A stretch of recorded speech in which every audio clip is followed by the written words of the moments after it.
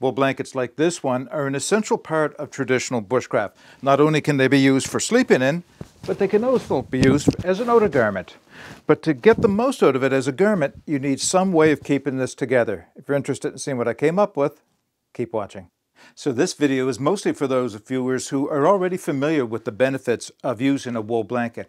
However, for those of you that don't, let's do a comparison with a down blanket like this one. So to begin with, yes, down blankets are extremely warm. They also are extremely light and they come packed down into very compact packages. You know, a wool blanket is heavy and it is bulky. Having said that, though, a wool blanket is much more durable than a down blanket, especially if you're going to wear it around a fire, because sparks will not burn holes through a wool blanket like it will through a down blanket. So the other thing about wool blankets is if you lay down on top of this, it's still going to be as insulative as it was just wrapped around you.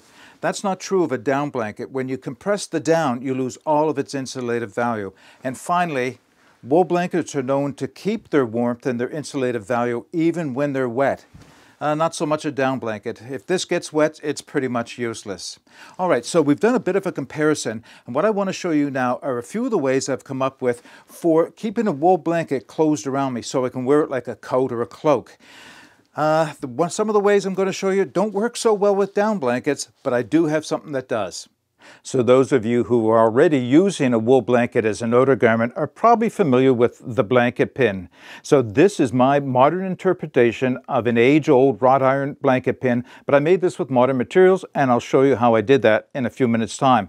But in order to use a blanket pin, you start by grabbing two pieces of your blanket along the front edge, drive the pin portion of it through the blanket, both sides, then take the C, put it behind the pin, and rotate it down. And that locks the blanket in place in front of you. Now your hands are free for doing whatever you want to do, any camp chores or you know anything else that you need to do with your hands. And you can move this up and down depending on how closed you want it around your neck. And of course you I could have thrown the blanket up over my head to create a hood before doing this. So this is a great way of keeping your blanket closed. Now there is a more modern interpretation. If you don't have one of these and you don't want to make one then you can purchase these. This also is a blanket pin. This is what exactly what it looks like, a giant safety pin. In order to use this, unspring the pointed edge, take two edges of your material, drive the pin down through and back through, then close it up into the safety, safety position and it will hold your cloak together perfectly. But what if you don't want to poke holes through your wool blanket? Or maybe you do have a down blanket like this one, or a military Woobie or poncho liner like this one, and you just don't want to be driving pins through it and making big holes. What alternatives are there? Well, let me show you what I came up with. All right, so this is what I came up with. It's a DIY cloak clasp. I'll come in a little closer so you can see it on the blanket. And what I'll do now is take you down to the, down to the tabletop and show you what I made it from and how I made it. Okay, before I show you how I made this modern interpretation of a cloak clasp, let me show you again the blanket pin that I have, and this is my homemade one. Uh, yeah, very simple device, and if you look online, I'll put a picture up on the screen of a very traditional wrought iron one. You know, it, they would look nice and be nice to have, but uh, I didn't particularly want to pay anyone to make one for me, so I decided to see if I can make one myself. And can you guess what I made this out of? A skewer a stainless steel skewer that came in a package, I think if it's eight for $1.50 from Dollarama, our local dollar store. And I just did some basic measurements, cut the point end off, and that's what became the pointy end of the, of the uh, blanket pin. Uh, made a circle that I thought was about the right length and bent back the ends all the way around. And of course, I did have to bend over the shaft of the pin before I closed off the two ends on there. That's all it is. And it's about two and a half, not quite three inches in diameter. You can make it any size you want, as long as the pin is wider than the diameter of your circle, it's going to work for you. See, I could have made this a little longer, but that's fine right there. Now, I've seen other videos where people say you can get multi-use out of your blanket pin by sharpening this up to the point where you can create an awl out of it. So if you need to do some emergency repairs on your pack or your boots or anything else, then you can use this as a punch to drive through so that you can run some cord or maybe the inner, inner inner part of a paracord. That's not a bad idea. This is not quite sharp enough to do that, but it wouldn't take me very much to run this on a stone and bring it up to sharpness. The only reason I don't is because it gets a little bit uh, you know, dangerous maybe, not so much dangerous, but it can cause damage in my pack and I don't particularly want to poke myself on it. So right now it's not that sharp to, that it, it's going to hurt me. So that's how you make your homemade DIY blanket pin. I don't think more instruction than that is necessary. All right, so what, and this of course is the safety pin. I think I'll give you another close up and that's all it is, is just a safety pin that runs about, not quite four inches, about three and a half inches long. And these can be purchased on Amazon. I think I picked these ones up on either eBay or AliExpress, and you can get a, uh, you know, a, a a package of different color ones for uh, you know very few dollars. So yeah, blanket pins. You may be able to find those in your local fabric stores as well. All right, so where did I come up with this? This is my blanket or a cloak clasp holding the two sides together.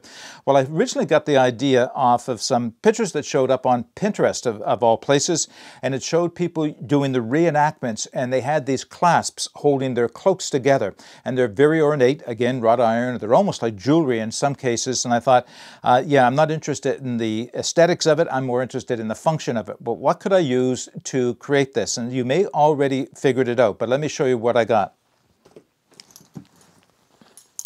So this is a pair of suspenders. This is the Dickies brand. These are suspenders that you might wear for uh, work, for holding your pants up, obviously. And they have quite a heavy duty clasp on the base of them. I call it an alligator clasp, but it's not quite. But look at the teeth on that. They are quite heavy duty, and of course you put that down over your pants and snap it shut, and it holds on quite securely. And I said, yeah, that's exactly what I'm looking for. So where am I going to get this?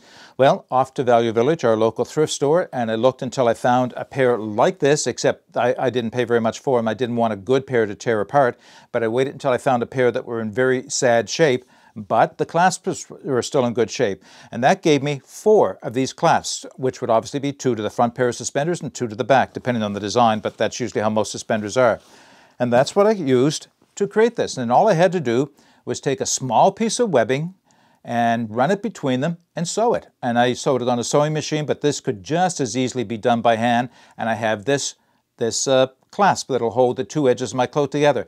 It's a bit of a challenge to overlap the edges, but it's not that hard. You just reach further back onto the material on either side, and then you'll have some material in the center to close that gap up.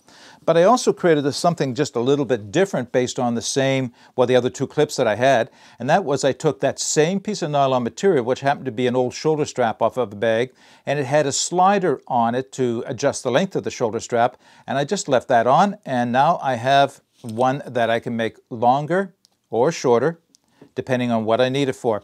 You know, I considered using the elastic material of the original set of suspenders, it was pretty much shot and it wasn't worth it. But if you have a good pair of suspenders that you don't mind cutting up, then the elastic material could also be used to go in between there. Um, doesn't really matter. This is what I used, and I think you can use any number of things. In fact, I'd be interested in knowing what you would do if you were going to create a pair of suspenders like this. Okay, so these work very well for the wool blanket, as you saw a minute ago, but look at those teeth. How would you feel about clipping those onto your down blanket or your Woobie? Well, I've tried it on the Woobie, and I'll demonstrate that in a second. It works well on the Woobie, but I'm a little nervous doing this with my down blanket because I'm afraid that it's going to tear with any pressure on the side. So I came up with something else. Now, I haven't yet constructed it, but basically it's essentially the same thing. So these are suspenders that I also picked up at Value Village for $1.50 or $1.99.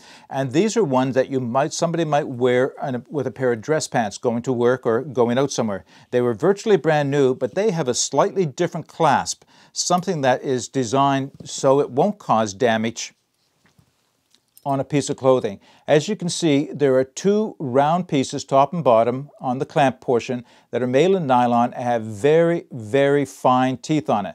So now I can clip that over and with pressure and with a little bit of the teeth in action, they will hold on to the down blanket without causing any damage. It also works on, on the Woobie as well.